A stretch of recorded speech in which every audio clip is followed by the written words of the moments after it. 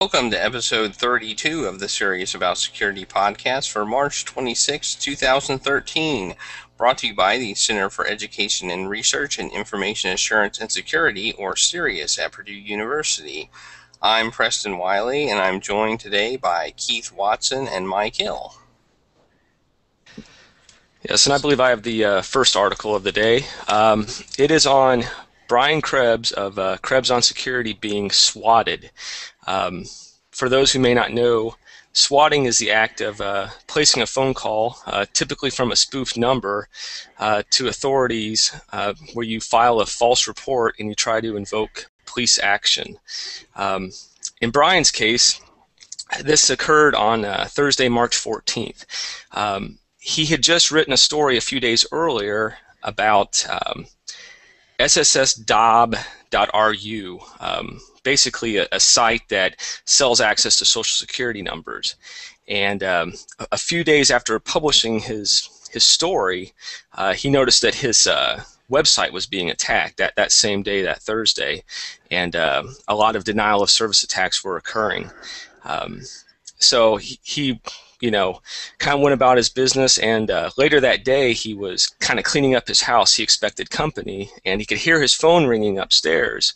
Uh, but he's like, I'll check it later. You know, get get a voicemail or something like that. And uh, uh apparently, he went to open the front door. He had some tape where Christmas lights had been, and uh, uh, when he pulled up that tape, he was uh, greeted with police officers with guns pointed at him, telling him to, to raise his hands, you know, put his hands in the air, and you know, they they cuffed him and asked to look into his house, and, and they quickly, you know, they kind of quickly figured out that uh, this was a result of, of being uh, swatted. Uh, it turns out the uh, the uh, hackers that performed this swat on uh, Brian had placed a phone call, and it reported that Russians had broken into to Brian's house and shot Brian's wife. Uh, so the, the police showed up uh, quickly uh, with guns raised and uh, uh, were prepared to take action if that were the case. Um, however, e fortunately, everything turned out well for Brian and his family. no one was harmed in the swatting, but I'm sure it was a bit of a, a frightening event for him. And um, Brian has been posting updates to his blog as, as he learns more information. And an update he posted was he's kind of following the, the uh, breadcrumbs trail here. And it turns out that there may even be a connection in this uh, story to uh, the hacker Phobia. Um, Phobia is the hacker that uh, Matt Honan spoke to uh, last year of, of Wired, and uh, you may remember that Matt Honan is the one that had kind of his um, whole uh, all of his Apple devices wiped remotely uh, because hackers wanted to get a hold of his Twitter handle. So um, I thought this was a, a, very interesting story. I I'll be honest, I never heard of the the term swatting before reading this story. Um, I didn't realize it was uh, something that could be done or that, that folks were doing it. And, and, it sounds like it's relatively easy to pull off because it's easy to spoof caller ID numbers. So uh, um, Brian unfortunately became a victim of it, and uh, just wanted to get your guys' thought and see what, what you thought about this. Well, it seems that he is, based on his investigative reporting, has made a few enemies, if you will. Um, if you look at the Ars Technica article, it kind of lists off some of those, like shutting down a California hosting service that uh, hosted a lot of spammers and child pornographers and done damage to the Russian business network and a variety of other things malware exploit kits and credit card reports denial of service attacks and services um, so he's got a few enemies probably which is sad because he is he's a reporter. He's not government official or anything like that. He's just reporting what's going on. Um, but sadly there are people who really would rather everybody else not know about it obviously. Um, so yeah it's an it's an unfortunate incident that that he's become a victim, but you know he's kind of out there uh, being one of the good guys, and sometimes the bad guys take swats at the the good guys, so to speak. Well. One of the things that I, I found interesting about the the first article he wrote was that he actually warned the police that this may happen, and um, because he was uh, he he frequented a forum uh, which they talked about this concept of swatting people, and they do it at at to people they don't like essentially. And uh, he actually warned the police uh, that this may happen, but you know the police are going to respond to this incident as if something was happening. And I think you know it's respond, make sure everything's okay, and then. Um, then kind of kind of once you realize things are not what they seem, then you can kind of say, "Oh, okay, well, this isn't this isn't true." Yeah, and I think Brian mentioned that in his article as well. He said he pretty much knew immediately what had happened. He said, but that wasn't the time to argue. You know, you put your hands in the air and you do as you're told, and you tell your story when you get a chance to. Um, so yeah, um, I was just curious. Have you guys had you heard of this before? Do you know of you know others that have experienced this? Is this a you know is this becoming a, a fairly common thing? I know it was mentioned. Um, uh, Brian mentioned in his blog post that um, it kind of started on the West Coast and was spreading east. Um, just curious, have you guys heard of anyone going through this? I haven't. I haven't either. Yeah. Well, you know, um, I guess it's something to be aware of. Um, unfortunately, it doesn't sound like there's much you can really do to um, protect yourself from something like this happening because uh, phone numbers can be so easily spoofed. Um, it can look like uh, a call is coming from a legitimate number, and I don't think the authorities have the infrastructure to really be able to determine uh, whether or not the, the phone call is valid. And I don't think we can ask them to take precious minutes if something real were happening and say, well, let's try to track this down. Let's spend 10, 15 minutes debugging it. Uh, they really do need to just be able to respond and, and act because if it if it's a real, uh, if something real is going on, they, they can't waste that time. So uh, it's, um, I don't know. I thought it was pretty scary. I don't know, you know, if you know, if folks can be tracked down to this, you know, what kind of uh, punishment they'd be facing. I don't even know exactly the extent to the law they broke. You know, it might just be kind of a slap on the hand, even if they were even if they were caught. Well, the police did actually try to call him, which was what his phone upstairs ringing was. It was the police trying to call and, and call him and, and see if this was a real incident. When he didn't answer, that's when they came came out. Right, and and I unfortunately had a, a different cell phone at one time, and on two occasions it it for some reason and the reasons why I still don't know pocket dialed 911, and I got a call back um, several times from a 911 operator trying to find out if I was in you know needed assistance. Um, so nobody showed up at the door, but I did have to explain to an EMS uh, you know, operator as to there's no emergency. In fact, one time I was I was in the bathroom bathing one of my kids who was playing in the tub, and that was a little hard to explain. it's like, no, no, child's fine. She's having fun in the tub. but yeah, nobody showed up at least, and it was my own fault, or rather the phone's fault. I'm not sure how that happened though. Well, back when you had a button buttons on your phone, you could just type 911 and it would dial. You wouldn't have to unlock your phone. Well, true, but I think like there's that. there's a there was an emergency mode on the phone where if you pressed some sequence of buttons for a period of time, it would dial automatically. I never did discover what that sequence was, and that's not really relevant to our conversation here. I think the point is that uh, they do try to confirm emergency calls when they can, but if you don't answer, then they assume the worst. Um, I think what what's more interesting is this is a two-prong attack, and we've talked about one of those prongs. The other prong of this attack was an online attack targeting his website, Krebs on Security. And this is a site that, that has been attacked before with denial, distributed denial of service attacks, and was undergoing another attack. What was interesting this time is somebody sent an FBI letter basically accusing the site of, of things that it shouldn't be doing and asked that it be taken down.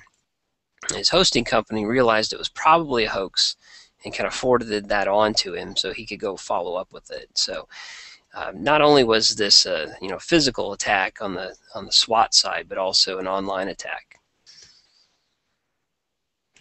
Yeah, and one of the things um, I, I, think it was from his posting on March 18th. Uh, like I said, he was following the trail, and he was actually able to discover uh, kind of a dump, I believe, from Booter.tw that uh, kind of showed the trail of who paid for that attack on his site. And uh, um, again, uh, Brian does preface it with, you know, this is the what he's found in the course of the investigation so far. He doesn't know how much of this is, is true or not, but it, it sounds like he ultimately ended up on the phone with potentially the hacker phobia. And um, you know, I'd encourage our listeners to go look at the articles. It's kind of entertaining because at one point he's talking to this uh, uh, um, alleged hacker, and uh, he was talking about how, um, you know, has he ever been, uh, you know, has he ever been involved, you know, hacker, you know, the hacker was saying hackers have tried to swat at him. He goes, you know, talking about how annoying it is, and, and Brian's kind of like, yeah, I can kind of understand that. So uh, it's uh, it's it's it's a very interesting thread uh, to to follow. Uh, I won't go into all the details here, but uh, if you get a chance, you might look at that and and see. Um, it, it sounds like uh, Brian is, is trying really hard to follow this all the way through and, and find out who, who's behind it all. But as we all know, that can be very difficult with uh, with how easy it is to kind of hide your identity online. Well, one more comment. I mean, this swatting thing, uh, I I think in in some ways it started out as kind of a teenagers pr- pranking friends from what I've read about it, but it is it is actually. I mean, I, I think it's can, it's fairly dangerous. I mean, it's a it's a it's a dangerous thing to do, and uh, and you know it could it could lead to real it could lead to bad situations. I mean, the police are trained to ensure that everything's okay, and if someone is, you know, anti-police or, or whatever, or they've done something else, that you know that this it, could it could lead to a bad situation and, and it's and it's not it's not it's not a good thing to do to anybody and uh, with voice over IP and rerouting your calls through other services and caller ID spoofing, it seems like it's becoming easier and easier to pull this off and, and not get caught. Yes, I, I would agree. I think it's uh, a, a very dangerous thing to uh, pull off. I don't know. Uh, again, I had not heard much of it before this, so I don't know if if it's ever gone gone south. But it's not hard to imagine. Um, you know, someone open. You know, someone having a bad day, opening the door. Maybe they are. Maybe they carry a gun legally. You know, so they've got a gun you know, in a holster, you know, they open the door and, and you know, or, or the police kick in the door and they draw their weapon. I mean, what are the police going to do? You know, it, it's going to end in violence, um, you know, and someone probably being killed, and it wouldn't need to come to that. Um, so I, I, I, think it's a very dangerous thing, and um, hopefully as it, as it garners more attention, uh, folks can be be aware of it. I, I guess uh, you know the only piece we've mentioned that maybe could have helped Brian avoid this was if he would have been able to answer his phone at that moment. And I understand why he couldn't answer his phone at that moment, but uh, maybe we you know maybe when we hear our phone ring, we need to make sure we pick it up just in case someone on the other end of the line is uh, uh, trying to confirm we are who we are and that we're not in danger.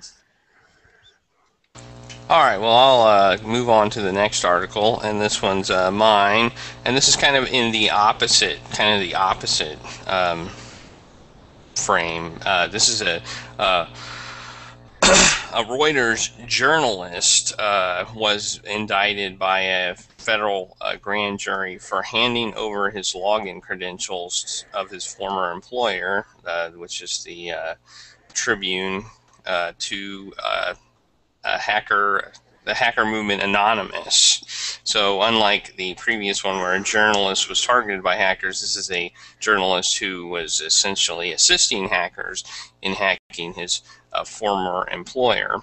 And um, he has been, I think, suspended uh, from from uh, his job without pay, and uh, he's still on trial. So this is all alleged that he did this. Um, but I think this is a very bad thing for a journalist to do, and uh, it raises a lot of questions on, you know, obviously his journalistic integrity and all that, but it also raises questions on why was his credentials from his former employer allowed to access uh, the network and actually make changes to their websites and things like that? Why why would why would his why would his credentials even allow access to his former employer and things like that? And when what the hacker was able to do is deface some sites, add content, and and basically do some do some malicious things at the Tribune. So it raises a lot of questions from a journalistic perspective on on that, and it also raises questions from his former employer on why was this even allowed to to happen. Yeah, and I think uh, one of the things that's not clear from the article, um, and I kind of read through the comments to go with it as well to try to understand, is the timing of events, because that came up a lot in the comments, and that was my first thought. Why would the Tribune not pull his credentials? But based on the timing of events, it may be that he handed over the credentials while he was still employed by, by the Tribune. So he may have been an active employee at the time that the uh, credentials were turned over and the defacement occurred. It wasn't obvious to me whether or not he did that as a disgrunt as an active disgruntled employee or whether he did it after he left that position. Um, so I, I, think there's a little bit of uh, ambigu- ambiguity. there's a little bit of confusion there as far as um, what the timing of events were. And, and I just also wanted to point out uh, he, w- he was suspended, but uh, he was suspended with pay actually. So uh, at least for now, he's he's still getting paid from his employer. Though I would have to imagine that if he's found guilty, he's going to be without employment and, and facing a whole other world of problems. It seems that he um, went on an IRC channel and and this IRC channel was known uh, location for various people to hang out. And basically, not only did he pass along credentials, it allegedly says that he encouraged them to go mess stuff up, and I'm going to use the polite terms. So, um, not only did he provide information, he also provided encouragement, perhaps. So, motivation here is a big question. Um, what I didn't see is that there was any actual damage done. Uh, and I'm not seeing that. Does anybody know if that actually happened? Somebody used his information? Uh, yeah, I think uh, articles did get changed. Uh, according to this, there was there was there were articles on the website that did actually get changed and modified. Um, I don't know what level what level of damage that was, but um, it does. Yeah, it, it does say that the a Los Angeles Times news story had its headlines changed, byline and subheadline, to include the name Chippy 1337. Also, a line in the article was changed to read, uh, I'm just looking at this. Oh, yeah, probably some language I shouldn't share, but it, it definitely was changed. Uh, Chippy 1337 takes his rightful place as head of the Senate, and then some stuff I probably shouldn't say. So it, it was, uh, there were some things that were changed. Hmm.